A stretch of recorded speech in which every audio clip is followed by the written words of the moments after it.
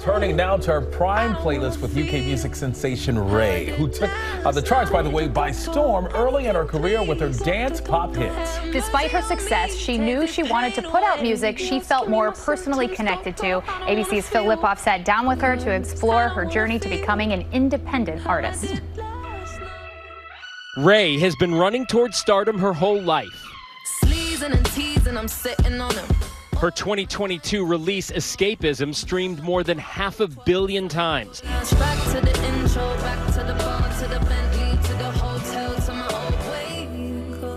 That success, and perhaps more important to the 26 year old, her artistic freedom, did not come overnight. When I signed my record deal when I was 17, in my mind, I was going to be like, but here's my album. And they were like, yeah, okay, great. And they were like, okay, so you could go and do some sessions mm. with these people, go and work right with them. She says her label ignored what she wanted to create, instead, put her together with some of the biggest DJs and producers to make dance hits like You Don't Know Me.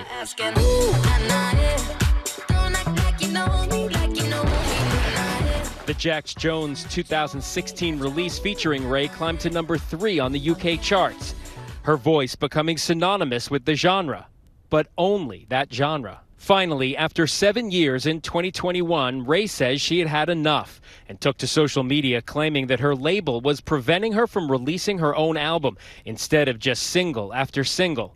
Shortly after that, she was let out of her contract. Suddenly untethered, independent, and ready to be Ray, or Rachel Agatha Keen, born in Yorkshire, England. In her teens, her passion for music grew, inspired by legends like Nina Simone. Seen here singing Feeling Good.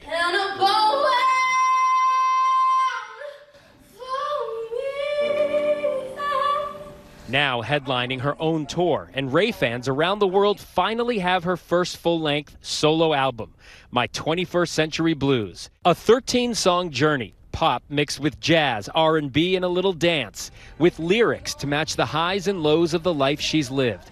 There's Oscar-winning Tears.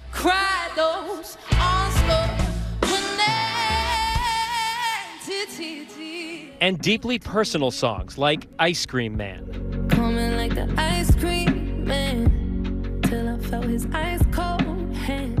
Written about being sexually assaulted. Whenever you go to that place, I think a lot of people who experience some of these things experience PTSD and experience the aftermath of trauma that was dealt to you that you didn't deserve. Like, you know, having to figure out how to pick your life up after you've been completely broken and, and abused. And, and um, that's a song that I made to just remind myself how strong I am. Escapism, her first single as an independent artist, shot to number one in the UK. And now, a live album recording at the famed Royal Albert Hall in London. It's going to be amazing. I think Escapism is going to be insane with dun dun dun, you know, them chords. The song is upbeat, but for us, RAYE played it like this. Sleezing and teasing, I'm sitting on him. All of my diamonds are dripping on him. I met them at the bar, was 12 or something. I would two more wines, cause tonight I want him. In the middle of her longest tour yet, 133 shows. When I come out the other side of that, um, we'll see. Yeah. But I do have some things in the vibe, so we'll just, there's no rules. I don't know, and I'm also a very spontaneous person. I could wake up tomorrow and be like, guys, I feel like we're gonna drop uh, an EP full of this, this, and that. Like, I just, you just don't know with me. So there's nothing to regret other than this 4-4 kick drum pounding in my head. I love it. Bet on yourself. Yeah, and be your authentic self. Mm -hmm. Like she mm-hmm. really discovered her authentic self, and you can tell that voice. You can really tell. Powerful. I many thanks to Phil for bringing us that story.